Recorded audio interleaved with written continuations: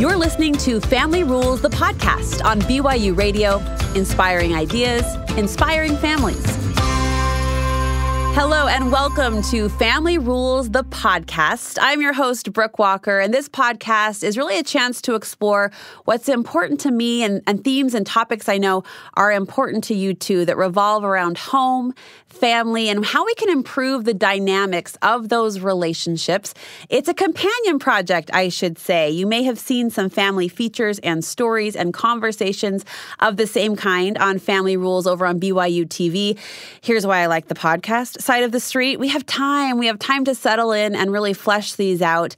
And the beauty of this show, of the Family Rules program across the board, is the chance to get real. I'll say it like that to get real, hit hit the ground, hit the family front where it matters, and provide solutions and tools that are tangible and actionable. And that's how we hope to serve you in this space today.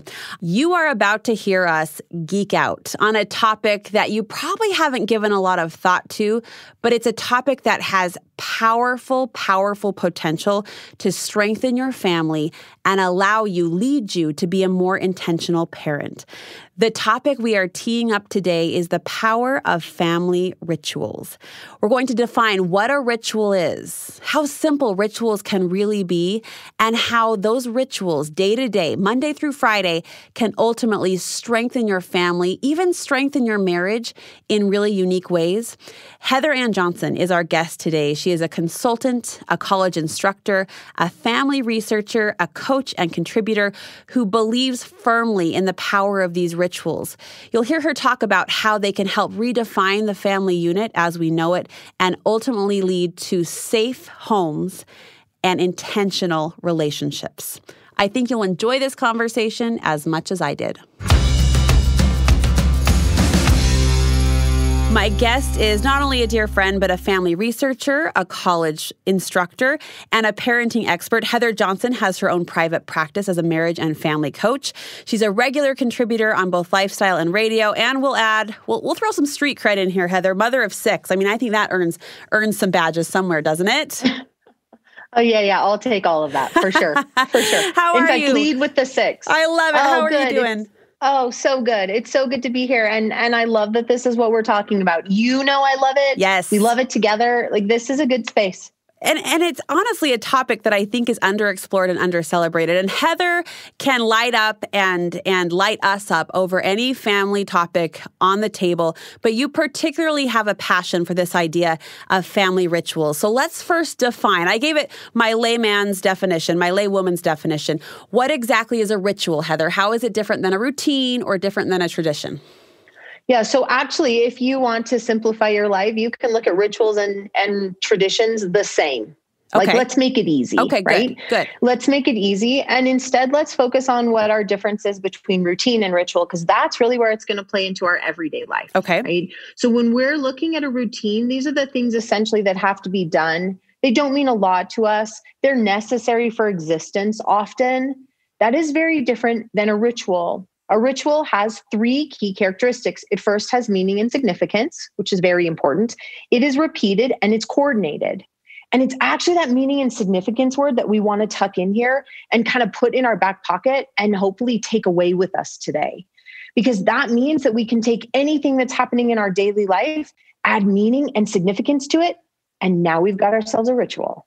And so that power is amazing. You have a great example of a ritual, and I hope I'm not painting you in, in a corner here. But you you've told me before uh, the ritual of the toothbrush. Can you tell us the toothbrush ritual? Because I think that sets it up really well. Yeah, for sure. So this is actually one of my favorites, probably because of the impact that it's had in my marriage and in our home. Uh, when my husband and I first got married, and we joke about this all the time, we'd only been married about three weeks or so, and I was in graduate school at the time. He was in he was in college, and he was working and doing all these things. And as a result of where I was in graduate school, I was up really late. So Mhm. he would go to bed at you know 10, 30, 11, and I was seeing like a 2 3 o'clock Yeah, on yeah. on the on the clock at that time. And so I would go to bed really late after I was writing a thesis and I went into the bathroom one day and I was even annoyed that I still had to brush my teeth. It was like, oh, I just want to go to bed. I don't want Yeah. to do this, right? And as I flipped on the light, there sat my toothbrush. He'd pulled it out of like our, you know, we were given for our wedding that the cup with the that held your, you know, different slots. Well, yeah, that seals the deal, doesn't it? That that that yeah, means married if you have the toothbrush cup. It, it's exactly right. And so he pulled it out and he'd put toothpaste on my toothbrush and it sat on the counter waiting for me. Now, when you think about brushing your teeth, it is very, very routine and always had been for me. Brushing my teeth is what I do because I don't like the dentist and I don't like bad breath and I want my teeth to stay white. Like that, that is actually why I brush my teeth. Yeah. Yeah. And in that moment, he added meaning to it. And as a result, now the, the ritual stands that whichever one of us gets to the bathroom first at, at beginning or end of a day always puts toothpaste on the other person's toothbrush. Now, even for us, it's gone bigger because now we have these six kids. And, you know, our son is our oldest, and then we have five girls after him. And these five girls share a bathroom. And so now the way it works is whichever one of the girls gets to the bathroom first, they actually put toothpaste on everybody else's toothbrush. Oh, I love it. I love it. And it, it's so simple. And see, that's where we kind of get sideways with rituals. We think that this means we need to go spend a lot of money, take a lot of trips, have a long to do list, lose a lot of sleep, stay up all night. We don't have to do that. This is taking what's happening every day and making it meaningful. I wait all day sometimes to go to the you know, brush my teeth at night to see that toothpaste waiting. And sometimes I race up the stairs in front of my husband because I want to put it on first. I know he's taken a minute to think about me, and that connects us. And that's what rituals do. Rituals with actually very little effort connect us in grand ways. And there is beauty in that. I love that you pulled in the word grand. And here we've titled this conversation, loosely titled The Power of Family Rituals, mm-hmm. which there's a juxtaposition there because here we've said rituals are so simple, they don't require a lot of time, commitment, or effort. But then we use words like powerful and grand. So, so let's talk about the benefit now that we've given ourselves a baseline definition of what a ritual is. Why are rituals so powerful? Why is the payoff so big? Well, remember, rituals and in their basic format, they keep families on track. Rituals actually give families direction and they connect us. So when we're looking at our families and we're saying, hey, we want to come together or we want to know where we're headed, direction and connection, if you keep those in the back of your mind, that's what rituals do for us, right? Rituals are essentially our families coming together and saying, we are going to be intentional about who we become and how we become that family mm. or how we become that married couple or even how we become that individual. Remember, rituals apply to all of us, regardless of family or marital status. And so, rituals are a very, very intentional, energy driven space that directs us and then connects us. And so, the benefits that we see, and again, I love these benefits because we've essentially been looking at rituals for a number of years. In fact, when we look at the research, ritual research started about 1950. Although we track it, you know, way beyond that back to Aristotle. When we look at kind of 1950s, we have these landmark studies that start to look at families and their traditions and rituals. And this research always shows us that the benefits fall into four pretty cohesive spaces. First, we know that rituals connect us they provide opportunities for connection. And I don't know about you, but I I want that. Yes. I want that with my family, yes. right? Examples of this connection, they're pretty simple. Examples of this would be like a bedtime ritual, right? So in our house, when our kids are newborns that first year, I manage a lot of putting them to bed. Mm-hmm. I'm usually the one feeding them, you know, doing a lot of that management. But as soon as they hit one and I'm not in charge of, you know, feeding them every three hours the same way. My husband usually takes over and starts implementing a bedtime ritual. And this is where he usually takes a ton of time to chase them up the stairs. And then they have a pillow fight. And then they play hide and go seek. And then they read a story together. And then he lays and hears all about their day. And then there's brushing teeth and pajamas and prayers. And this ritual connects him to them every day. Hmm. Every day. Now we we have to go to bed. Yeah. We have to brush our teeth. We yeah. got to put on pajamas and say prayers. But because we've added meaning, this connection is a beautiful benefit. Mm-hmm. Family reunions, even if they happen every five years, a ritual. They connect us with people we haven't seen in a long time. Connection is a huge benefit, right? We see it everywhere. I love that. We see it everywhere. I was talking to a woman just the other day, and this is a little bit of a tangent, so forgive me, but she was expressing that sometimes she feels insecure that she's not more of a nurturing mother, that the touch and the affection, the physical affection doesn't come naturally to her. But she was quick to say every night before bed, speaking to the bedtime ritual that we're that we're referring to, she goes, That's when I consciously can say, arms around him, cheek to cheek, squish, cuddle. Like she makes a conscious effort, knowing that's not a natural yep. strength of hers, but it's become this ritual. And I thought, gosh, talk about a powerful connection because even if the kisses didn't happen from 8 a.m. to 6 p.m. naturally, it happened before bed. And I guarantee those kids are going to remember that. Oh, absolutely. And isn't that such a cool example of what connection and how connection shows up? And I love it because actually that example leads into another huge benefit, which is predictability. Mm.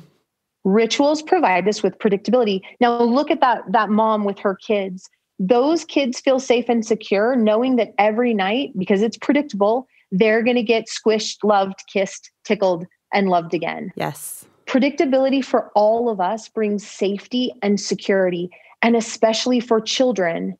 Now, look at it from an adult perspective, which these ones are so silly, but they mean so much to us. You know, you and I have had conversations before about whether or not we know what's going to be served during Thanksgiving or Christmas. Right. And how much it means to know exactly what's going to be on the table for Christmas dinner. Yes. Like that matters to us. Yeah, those sweet right? potatoes better be there. They better be there they, every year. And that's predictability. I feel safe knowing that when our family shows up at that Christmas table, those things are going to be on the table. That's a ritual. There is safety that comes from things being predictable. Now, let's take it out of those bigger ones like Christmas and Thanksgiving. How about in the morning, a ritual of getting our kids up and getting them dressed and getting them off to school if we can get them to school, right? and when we're doing those things, the predictability of our kids knowing they'll get breakfast that we'll sit for a minute and ask them how they slept, that we'll help round up shoes. That keeps them safe mm-hmm. because they know what to expect and they're not caught off guard. Mm-hmm. You can see how rituals benefit someone who might deal with anxiety, even, especially a child who worries about those spaces. You put a ritual in place and provide predictability, and they're not nearly as anxious because they know what to expect every single day. I love that. I love that. Right? We t- we, so those benefits are huge. We talked about how, you know, the distinction of a ritual versus a routine is meaning. And as you're giving these examples, right, whether it be the bedtime kiss, the bedtime tickles, the toothpaste on the toothbrush, at the root of all of this, the foundation, there's some serious, you know, valuable characteristics at play, values at play, right? Of caring and affection and service. Is that another benefit of this pursuit of rituals? It is always. And that's that value based space, right? Rituals give us an opportunity to enact values, to actually live them. And it's so funny because a lot of the frustration we feel in our families and in our marriages and in our individual lives is when we profess to believe in certain values, but our actions don't support yes our profession of belief in those yes, values. Yes. I mean, that's that hypocrite space. And, and we're always fighting it. It's like, oh, I believe in service. Oh, that's funny though. I actually haven't served anyone. Mm-hmm. so mm-hmm. I don't actually believe in that value. And rituals give us an opportunity to enact them. Uh, this one for me is actually one of my favorite benefits. And, and you'll have to excuse whatever kind of emotion shows up in my voice. One of the rituals that our family did my whole life was visit grandparents who lived in a different state. And in particular, I had the opportunity to have a set of great grandparents until I was a junior in college. And so every summer and every winter, twice a year, we would come to, you know, they lived in Utah, we lived in California. We would drive up and visit this set of great grandparents. And it was interesting because I watched my parents teach me values through the way they loved my great grandparents, right? Mm. I watched them teach me service and selflessness and love and connection and respect. Now, my parents didn't load us in the car for this, you know, back then the speed limit was different. So for this like 12 hour car trip yeah. and say, hey guys, we're going to go learn connection, love, respect, selfishness, selflessness, and service. They didn't say that. They said, right. we're going on a family vacation.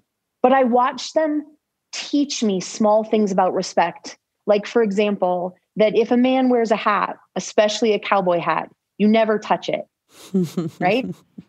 I watched my mom give pedicures and manicures to a woman who could no longer reach her feet. Mm. I, I got to watch these things. Yeah. I got to learn how to speak to elderly people when they're older. Like that's not how they set up the family ritual. The family ritual was a vacation. Right.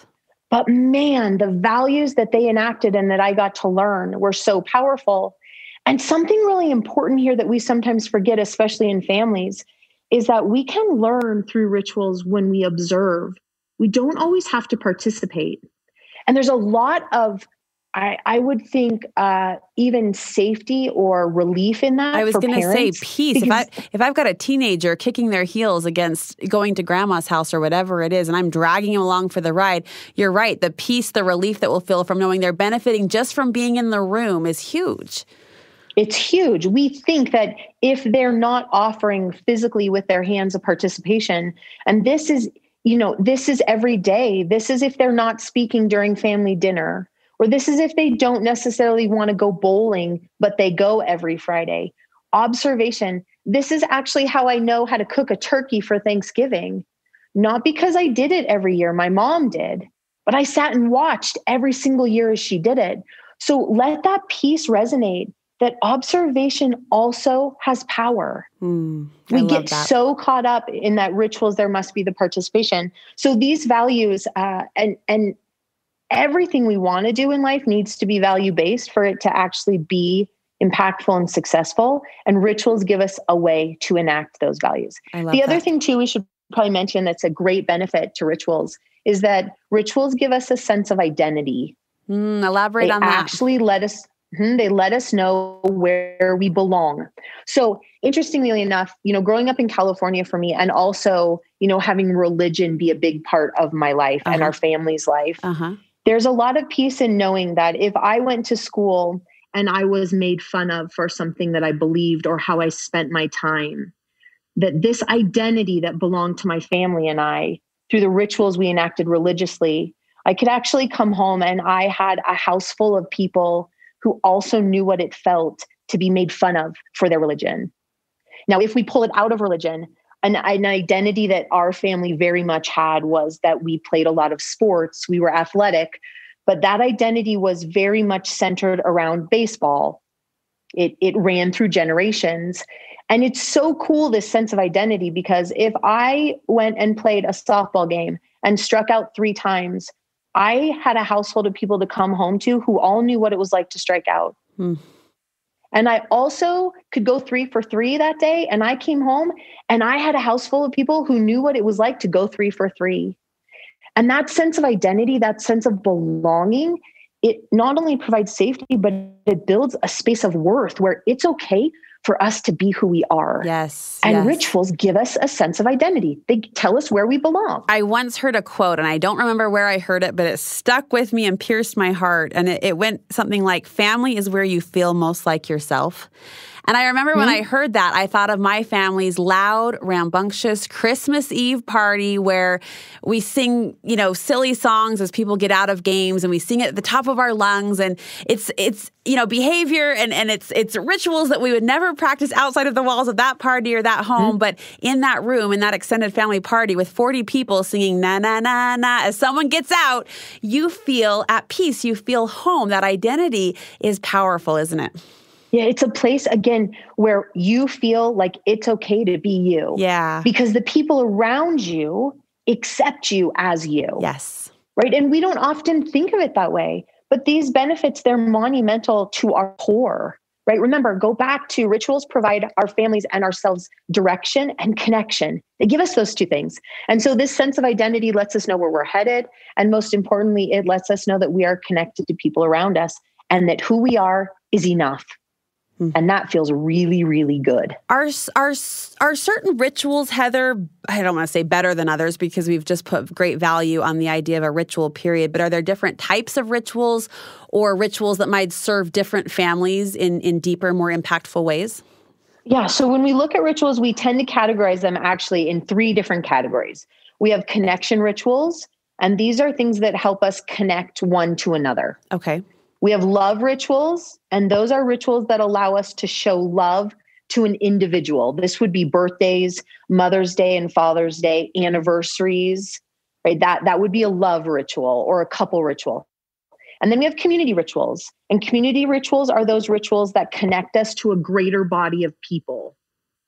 And when you're looking at your family or your marriage or yourself, we actually want to consider having rituals in all three of those categories. Okay. Right? In all three of those spaces, because they all provide benefits that we need, right? For example, we don't recognize, but a lot of the things we do are community rituals, weddings, funerals, Fourth of July parades, you know, things we do when we go look at Christmas lights. Those are community rituals. And the thing about community rituals is they help build strong families with direction because they provide us an opportunity to not just take from the community, but healthy families give to communities also.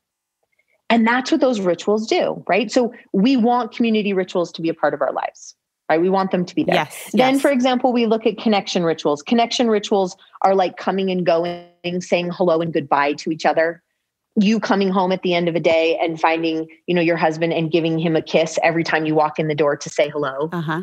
Right. Uh, this one for my husband and I, this coming and going is actually pretty funny. We have a very, uh, you know, set ritual for the last 20 years where before he walks out a door, he always says, Sweetheart, I've got to go. Those are his exact words. And no matter where he is in the house, I go straight to the garage door. Right. And we're enacting this ritual. It's Okay. these patterns of interaction that fit together. And I wait at the back door or close. And he comes and he says to me, Love you, bye. I don't know when the I got dropped, but love you, bye. Abbreviation. and I look back at, yeah, I look back at him and I say, Love you, bye. And we give each other a kiss and he walks out the door. oh. And this ritual is so funny because eight is actually our max, eight times. But if he walks out the door and forgets something and comes back in, he starts at the beginning again. And he says, Sweetheart, I gotta go. And I'm standing right there and I'm like, okay. And I say, Love you, bye. And he says, Love you, bye. And we give each other another kiss. And and no joke, eight is actually the number. We I have mean, eight times had the to come back keys, you in and out of forget the the, wallet. Those are a few extra smoochies. But I'm here to tell you that I think the Johnson goodbye ritual just replaced the honey, I'm home. Sorry, Lucy and Ricky, but I like yours a lot better. Oh man. And it's so fun to see that when that happens, that really does connect us. yeah. And it connects us right before we separate. And then at the end of the day, we find each other first. We very much have a ritual where kids in tow, dog behind me, when I walk in the door, he gets the kiss first. We Mm. get up from wherever we're at and find each other. That's a coming going ritual that we have in place. Now, love rituals are actually some of my favorites. I love this opportunity to show individuals love and attention. Mhm. I think there's beautiful things in that. And there's some keys to this one that are pretty fun to look at. For example, success in love rituals or couple rituals come when we decide to give other people what it is that will make them feel special instead of giving them what it is that we would want. So this is kind of the love language. What's your love language question? Yeah, yeah. This is, uh, for example, have you ever been to a surprise party for someone who's really shy? Yes, sure have. Sure, sure is awkward, Right? isn't it? oh, it's terrible. And it's funny because who really wanted who really wanted the surprise party? right. The person who threw it, Right, right? right. And so these are the spaces where we want to make sure we are actually giving what makes that person feel special. Mhm. Now, there's some differences here that are fun when we look at men and women. Men tend to be very, very intentional about being ritualistic when they're courting. Ah. Women tend to be very intentional when they're married. Okay, this is interesting. This is juicy. Hmm? And so we miss each other a little bit, right? Yes, ships in the night. a man is yes is dating someone and they are and think about it think back to dating right to courting there are flowers there are notes there are specific phrases and phone calls and intentionality. Oh they're so intentional in that phase. And then how many times have you heard one of your girlfriends say well now that we're married my husband never does anything. Right? And it's so funny because once we get married that's when for women we immediately become ritualistic because in our minds we think wait a second if i've made this commitment i sure as heck i'm going to put energy into it Right. a man says wait a second what else can i do to show you how much i love you than put a ring on your finger and Yeah, I did it. That, you. that So sparkler is I've the done my ultimate shine. Yeah. I got them, right? And and I got to put a caveat in here a little bit for men because they get a bad rap even though we see this differently. What tends to happen with these types of rituals is that it's not so much that men stop being intentional, it's that they shift where the intentionality is. Mm. Like for example, my husband used to leave me notes everywhere. In fact, every once in a while I will pull out like a really old backpack or a random sweater that I've hung on to since college. Yeah. And I will actually find a note that he tucked there 15 years ago. oh, ago. the best. It's so fun. Better right? than a 20. Better it's than so a bill that you've better, lost or tucked always away. Always better than a bill, right? Yes. In fact, one time when when we were dating, I had to go out of town for a graduate school conference and I showed up in the Arizona airport and he had arranged for someone to to be there with a note. They were oh. everywhere. It was so oh. fun. Now, I, I say this cautiously and with so much love. I don't get a lot of notes anymore. Mm-hmm. I don't. I, I rarely, in fact, they're they're here and there. But what I do get is I get a lot of help with housework. Mm. A lot. And I get a lot of patience after a long day. And I get a lot of, hey, I was thinking that this might make this easier for you. And hey, I was walking through the mall and I thought that this might be something you like. I get completely different energy and effort. I get, I've been gone doing a presentation, and when I show back up, he's tucked all the kids in bed and made me something to eat.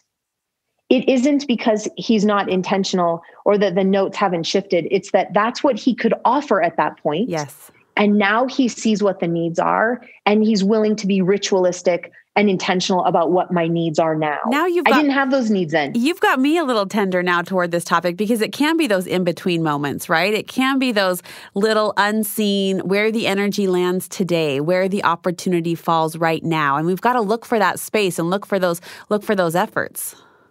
Yeah, and that's where this this key word, this word of being intentional is so powerful if we want our marriages and our families and our individual lives to go in a certain direction, we actually have to take them that direction. If we're not intentional in guiding them that way, then the winds and the currents of the world around us, that is what will steer our ship. That is what will direct our course. And so we have to be very intentional. We see things different. It's so comforting. In fact, I get to hang out with college students a couple times a week and this this space of being intentional in marriage you know you got a, a lot of newlyweds there's a lot of contention in this space a lot of women who raise their hands and say I've been married for a year and my husband never brings me flowers anymore. He always used to do that. Uh-huh, uh-huh. Right. And this frustration. And we need to realize we view intentionality in our relationships differently. Hmm. We see it different. And if we can understand and go into it recognizing, wait a second, he sees it as energy on the front end and I see it as on the back end. Now all of a sudden we make a really good team. Yes. Because, because it's his intentionality that got us here. Yes. And it's some of my intentionality that's going to get us that through the back end. There's the synergy. Gosh.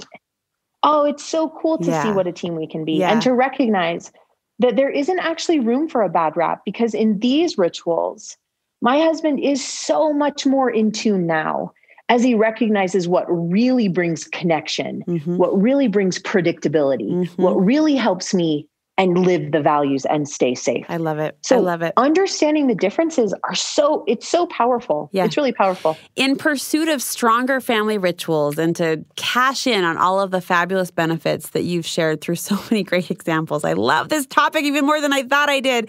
You want us to manage the two T's. Talk to me about that. Yeah. So when it comes to being successful, we tend to have some barriers, right? Some things that potentially make it hard. And we're in an interesting space because society is actually what makes it difficult to be intentional, to be ritualistic, so? right? And one of one of the main reasons it does is because it puts up a lot of barriers for families to spend time together. Uh and also as a result of the technology that is constantly surrounding us. Mm-hmm. Now, even before we kind of jump in, and those are our two T's. They're time spent outside the home and technology spent inside or technology inside Th- our home. Those are the barriers. those are our barriers, yeah. right? Now, there's a ton of other ones, but those are the ones that really infiltrate every single family system, every relationship, every individual. It's important to note that this is the first time in society that we have not had a common definition of what a family or what a marriage is. Hmm. In fact, historically, this is the first time ever in the history of the world where we have so much contention surrounding defining families and marriages. We have never dealt with this contention this way to this degree. And so we don't have a working definition. So we've got this society around us that is actually still functioning as if we have a common definition. Okay. When we don't. Huh. Right? Society still expects that we function from a place of this is what a family looks like and this is what a couple looks like. Yeah.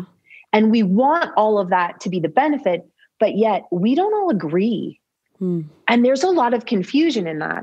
So when we look at those barriers of time and technology, we want to recognize that those are commonalities, even when our definitions are not common.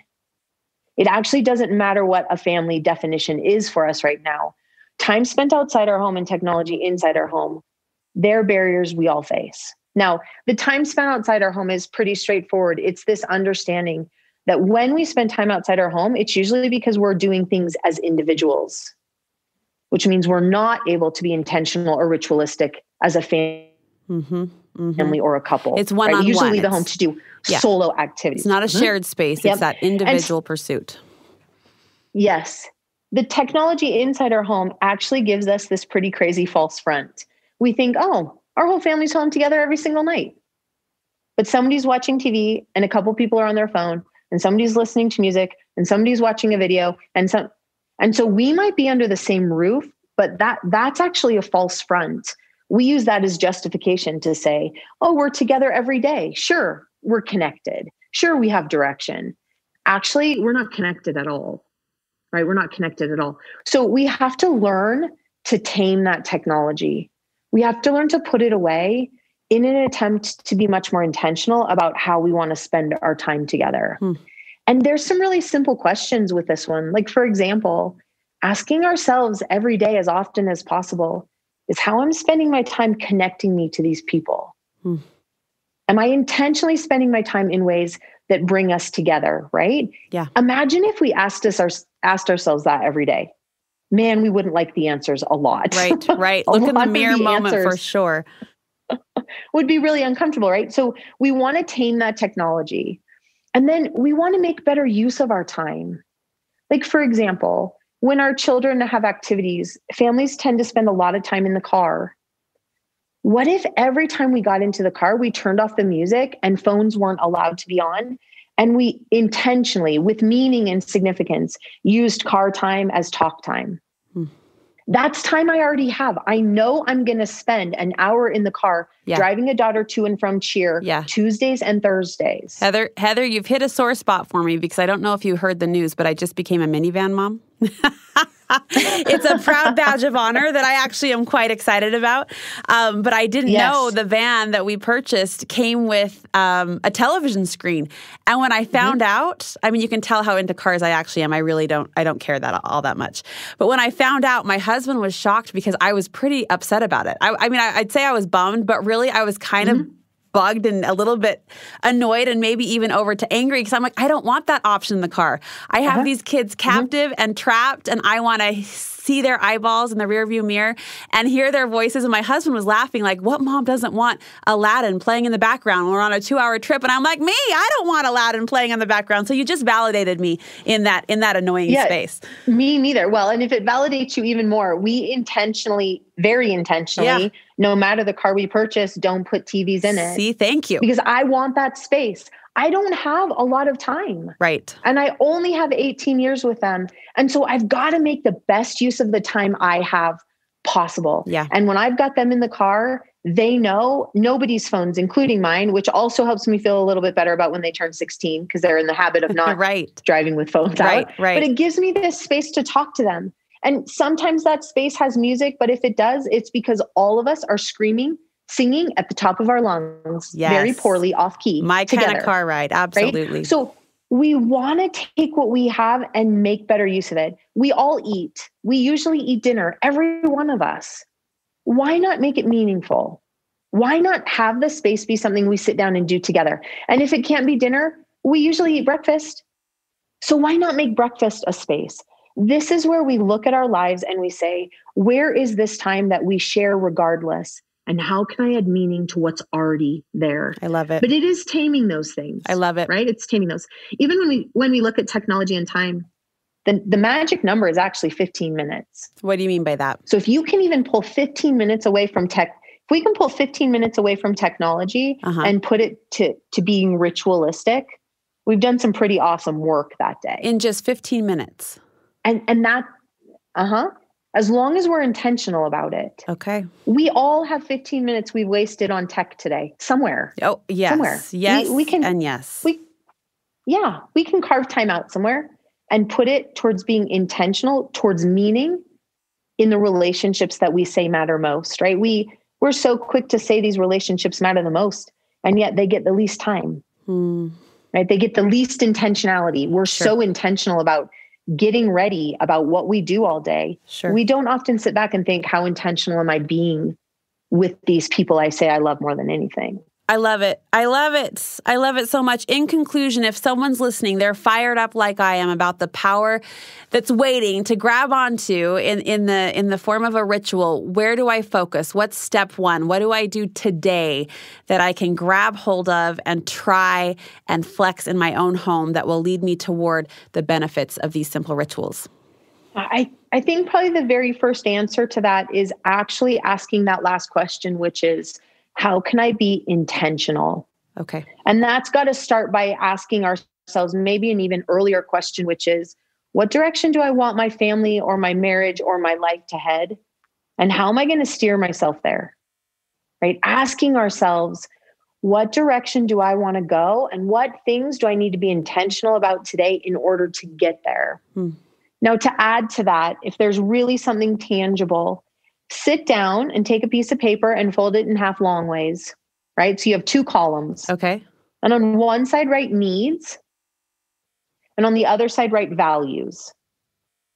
And answer those questions for whatever relationship you're looking to execute rituals in. What are the needs in this family or this marriage? And what are the values that we say we subscribe to?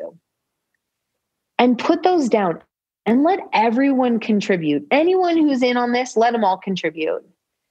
And then from there, we can start adding the actions that support the needs and the values. And it's a really it's a really safe but concrete space.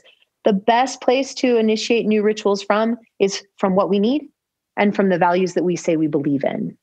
It's a really good place to start. Awesome. This has been awesome. This has been awesome. Heather, thank you so much. I came into this conversation already feeling pretty pumped about about the topic as as little as I knew about it anyway. Being able to expand with you and elaborate with you has just lit that fire even more. So thank you so much. I know you have a private practice. You coach individuals, couples, families, even businesses I know virtually or in person, whatever however it plays out. How can we get in touch with you?